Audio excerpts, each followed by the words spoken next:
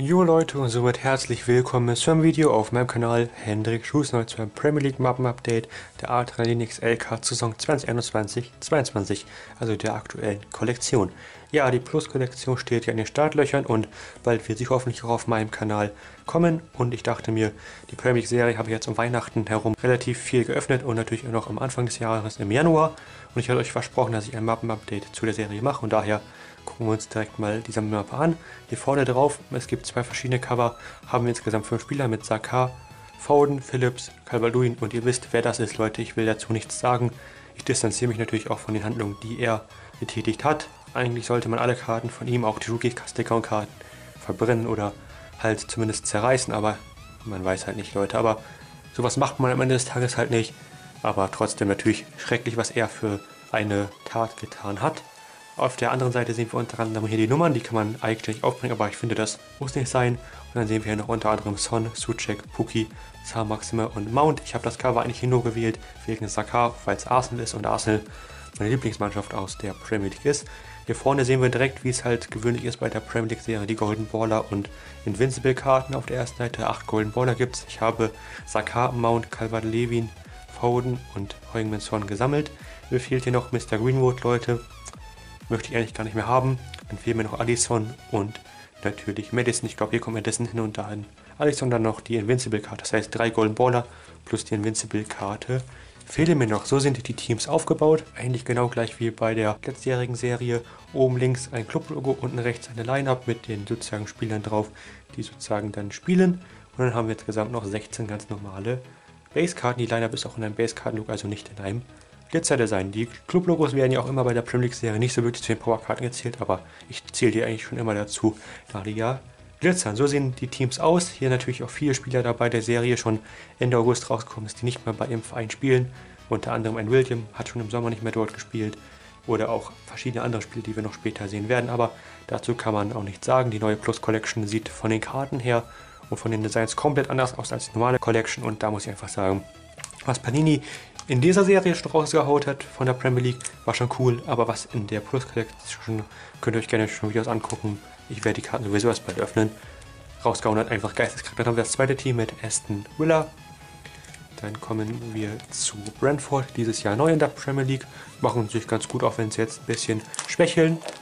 Dann haben wir Brighton und Half oben im gesicherten Mittelfeld. Unter anderem mit Pascal Groß, der früher bei Ingolstadt war. Dann haben wir hier die letzte Basekarte, die mir noch fehlt bei Burnley mit Ashley Barnes, der Stürmer, der fehlt mir noch. Sonst sind alle Basekarten aus der Collection vorhanden. Dann haben wir hier Chelsea, auch hier alles da unter anderem mit Werner, Rüdiger und Harvard aus deutscher Sicht oder auch einem Kanté, Jorginho oder einem Mason. Mount, dann haben wir Crystal Palace, dort gab es ja bis zu diesem Punkt plus die Line-Up, die Karten in der normalen Collection. Die sind auch alle in einem Auswärtstrikot und nicht in einem Heimtrikot. Und diese vier, Ward, Odyssey, Schlupp und MacArthur, konnte man ja nur in diesem Update-Set da bekommen. Finde ich in Ordnung, aber vielleicht nächstes Jahr dann wieder eine Collection, wo alles erhältlich ist. Insgesamt ein bisschen komisch, dass jetzt hier dann die Stürmer sind, hier dann noch Verteidiger und alles halt durchgemixt. Dann haben wir hier bei Everton das Logo, was noch fehlt. Also mir fehlen insgesamt noch viele Logos auch. Sigurdsson dürfte eigentlich nicht in der Collection sein. Insgesamt in der Premier League so viele Spieler, die was Schlimmes getan haben. Naja, vielleicht verleitet das Geld dazu, vielleicht auch die Liga, vielleicht das Land, man weiß es halt nicht. Dann haben wir Leeds, letztes Jahr aufgestiegen, dieses Jahr auch immer der Premier League. Dann haben wir Leicester, bisschen enttäuschend dieses Jahr, wie ich finde. Dann kommen wir zu Liverpool, gut oben dabei. Mal gucken, ob sie noch Manchester City schlagen können. Chelsea sollten sie auf jeden Fall hinter sich lassen können. Dann haben wir hier Manchester City, ein ganzes Team mit nur Fotostudio-Szenen. Komplett komisch finde ich das. Und ja, aber cool, dass auf jeden Fall Manchester City-Karten trotzdem in der Serie enthalten sind. Dann haben wir Manchester United-Karten. Hier unter anderem noch nicht Ronaldo dabei, der war jetzt in diesem Star Signing Set oder wie das heißt dabei. Dann haben wir Newcastle, die neu reichen. Auch hier fehlt nur das Logo. Dort wird es bestimmt viele, viele Update-Sticker und Karten in den Serien geben. Die haben ja sich unter anderem den Chris Wood gekauft oder auch andere weitere Spieler wie Trippier. Dann haben wir hier Norwich. Auch hier fehlt noch das Club-Logo, aber sonst alle Karten da, die sich echt gut, finde ich, dieses Jahr schlagen. Aber auch dadurch, dass Burnley, Newcastle, Leeds da unten halt auch alle drin hängen und nicht wirklich punkten können. Dann haben wir Southampton, richtig gute Mannschaft, überrascht gerne mal, hat letztens gegen Tottenham gewonnen. 1 zu 1 gespielt gegen Manchester United. Also ich finde Southampton eine gute Mannschaft mit Ralf Hasenhüttel. Dann haben wir Spurs und er konnte eine solide Mannschaft, aber keine, die oben angreifen kann. Wird auf jeden Fall nächstes Jahr Europa League oder vielleicht sogar Conference League spielen wie dieses Jahr. Dann haben wir Watford, auch die sind unten drin und haben wirklich keine wichtigen Punkte, die sie holen. Auch hier sind schon sehr, sehr viele Spieler vor der Saison weg gewesen. Schallobar ist zu Fulham gegangen, Hughes ist zu Crystal Palace gegangen, dann haben wir einen Troy Deeney, der mittlerweile bei Birmingham spielt. Also viele Spieler, die nicht mehr dabei sind in der Serie. Das finde ich ein bisschen blöd an der Serie. Dann haben wir das West Ham Team, ein bisschen auch enttäuschend, aber gut, hier mit Mark Nobles letzter Karte wird er sozusagen den Verein verlassen und seine Karriere beenden. Dann kommen wir zum letzten Basekartenteam bei den Wolves. Viele Portugiesen dabei, nicht mehr so viele wie in den Jahren zuvor, aber auf jeden Fall auch noch viele. Adama Traoré jetzt ja zu Barcelona gewechselt oder auch ein Rui Patricio schon nicht mehr da. Und dann kommen wir zu den Powercard. Dort hatten wir ja erstmal hier einen neuen Topkeeper und einen neuen Defensive Lock. Ist ja bei Panini-Serien immer so, dass jede Positionskategorie so nochmal neun Special-Karten bekommt. Auf jeden Fall die neuen Topkeeper und Defensive Rock waren noch relativ schnell zu vervollständigen, genau wie die neuen Gamebreaker, sozusagen die besten Mittelfeldspieler. Dann haben wir mit den neuen Diamonds die neuen besten sozusagen jungen Spieler mit Martinelli, Lembetti, James, Eze, Fofana, Ferran Torres, Max Aarons, Joao Pedro und Pedro Neto. Alles kein Rookie-Karten, aber auf jeden Fall alles sehr, sehr junge und gute Spieler mit dem schönen Jewel-Design aus der Euro-Serie auch gut veredelt und auf jeden Fall gibt es auch Karten in der sozusagen Plus Collection, die nennen sich Goal Maschinen, sozusagen die besten Torschützen und die haben auch so ein schönes Design. Dann passend dazu haben wir noch Lightning Card, sozusagen die besten, schnellsten Spieler mit Timo Werner dabei, Mosala, Traoré, auf jeden Fall alle für ihr Tempo bekannt. Dann haben wir noch die neuen Kategorien, die es sozusagen dieses Jahr zum ersten Mal gab. Feuer und Eis waren halt viel zu oft in den Päckchen drin. Dafür, dass, glaube ich, eine in jedem neuen Päckchen sein sollte, hatte man die sehr, sehr oft in den Päckchen. Die haben wir fünf Fire mit Grealish, der hier auch beim falschen Verein ist. Rafinha, Mares, Owan, Bissaka und Saar Maxima. Und dann noch vier Eiskarten mit Tielemans, Firmino, De Bruyne und Ward Prowse. Ich fand die Eiskarte sogar, glaube ich, ein bisschen schöner als die. Oder finde die Eiskarte ein bisschen schöner als die Feuerkarten oder Fire. Dann haben wir hier die Heroes, die sind auch jedes Jahr relativ schwervoll zu bekommen, da es so viele davon gibt.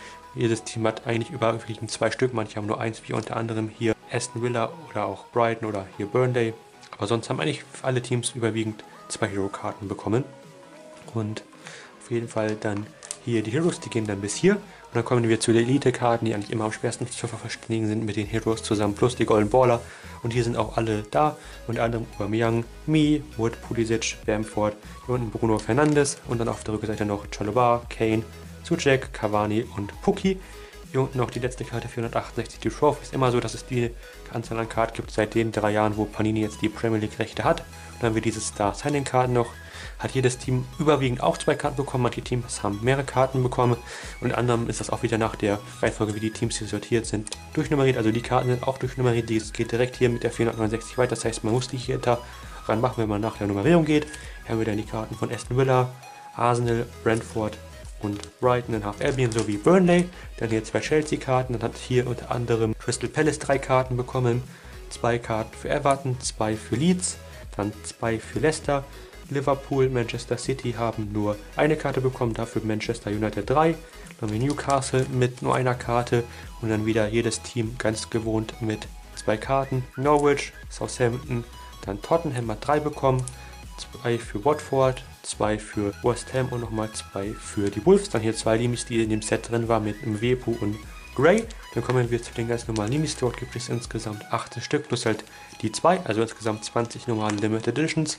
Viele gab es in Zeitschriften oder in den Tins und in den Multiplex. Dort habe ich mir jetzt einige tauschen können aus England. Die kommen noch, sind auch auf dem Weg. Auch das wieder nach Verein nummeriert oder durchnummeriert. Und jeder Verein hat eine normale Limi. Unter anderem haben wir halt Raya Martin, Aspilicuetas, Yunchu, Thiago, De Bruyne, Dubravka, Henley, Reguillon und Cresswell. Dann gab es diese Lenticulor-Karten, da gab es elf Stück, soweit ich weiß, aber ich habe jetzt hier gerade mal sechs mit Smith Rowe, Harvards, Manet und Watchpost den Minitins drin waren, Beckham aus dem Adventskalender und Rooney aus dem Starterpack. Ich glaube, es gibt noch Martinez, den hat man nur beim Panini Online Store bekommen in England.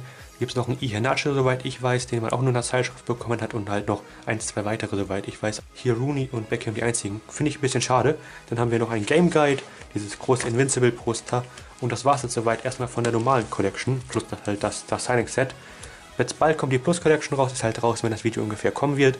Und wenn es euch gefallen hat, lasst doch gerne einen Daumen nach oben. Da wäre noch eine der drei Logokarten. Invincible, Topmaster oder halt die Base-Karte von Ashley Barnes habt. Schreibt mir jetzt gerne in die Kommentare. Ich werde euch das auch nochmal unten alles in die Kommentare schreiben und in die Beschreibung, was mir noch fehlt. Wenn es euch gefallen hat, lasst gerne einen Daumen nach oben da. Steckt hier noch die Premier League Plays aus, genau wie hier. Hier könnt ihr abonnieren und hier noch ein volles Video auschecken. Bis zum nächsten Mal. Tschüssikowski.